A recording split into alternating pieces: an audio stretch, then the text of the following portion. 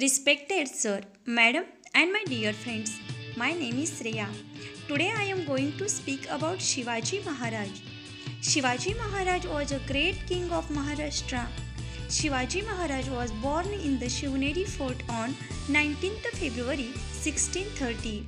His mother name was Jijamata and his father name was Shahaji Bhosle. Shivaji was the founder of Maratha Empire. He established a Swaraj. Swaraj means self-government.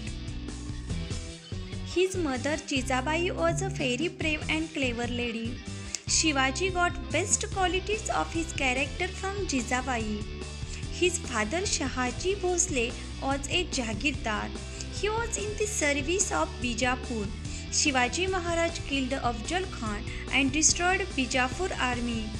Aurangzeb sent Sahiste Khan and other generals to arrest Shivaji. Shivaji formed a marriage party of his brave soldiers and attacked the house of Shahiste Khan. Shahiste Khan escaped with the loss of a finger. We have a lot to learn from the life of this great king leader.